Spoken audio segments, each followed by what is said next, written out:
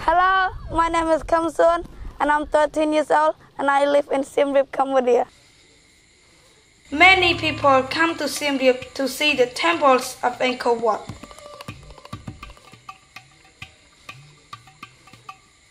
They stay in nice hotel, but most do not see how poor Cambodia really is.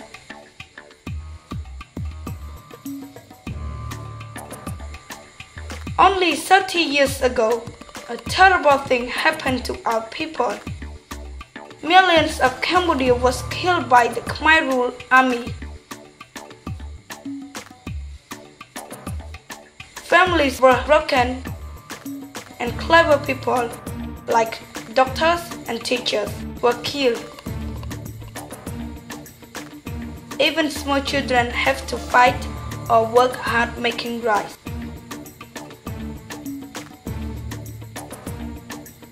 Many who survived lost their arms and legs to landmines that was put in the ground by the soldiers. My dad was one of them. After he lost his leg, he became very sad and could not get a job. He started drinking and playing cards to forget his problems. Sometimes when he had no money, he would get angry and hit me and my sister to make us beg on the streets. I feel sad and many times I wanted to cry. I feel like I have finished my energy. There were many children on the streets of Siem Reap and most of us have to carry our baby brothers and sisters until early morning in front of the tourist bus. We had no idea about our future, but we knew we did not want to be like our older sister and go with men for money. They live a very bad life. Sometimes they don't come back, sometimes they die from HIV. When I was nine years old, I met an Australian lady called Tanya and a Cambodian man called Rim.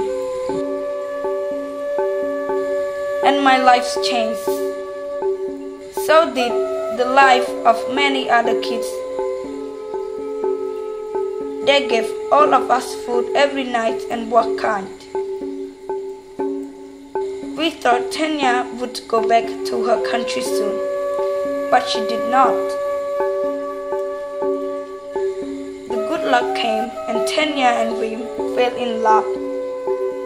They got married and stayed in Cambodia. They took us to English school and soon after started Green Gecko. I feel so happy and want to learn so much. Our first Green Gecko was a small house by a river where we could play and sing and paint beautiful pictures for a few hours a day. It was so good to have fun and feel happy. Now, we all live in a proper Green Gecko home. We know Tanya and Rim love us so much and will always be around because in 2007 they signed a lease for 15 years. We started to feel confident about our future.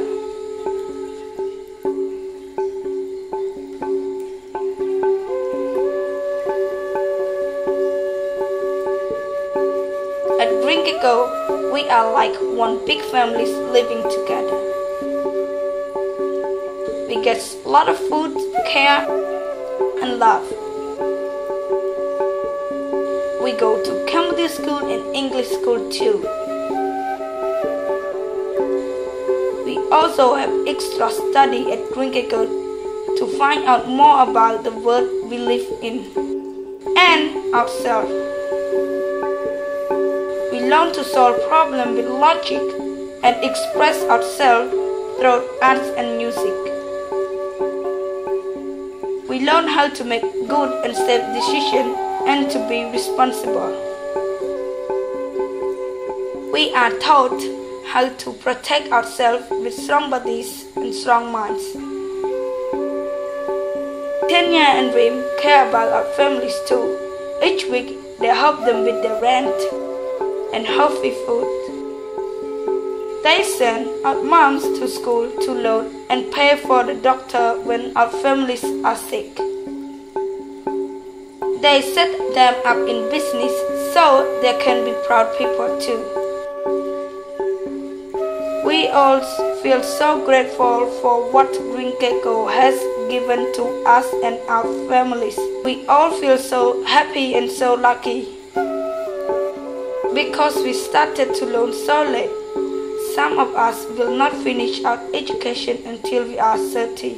But Tanya and Rim say that don't worry about that. They just say, be the best student you can be and we will help you all the way. For me, I dream to have my own NGO so I can help other baker children change their life just like me. For the first time, I feel excited about my life.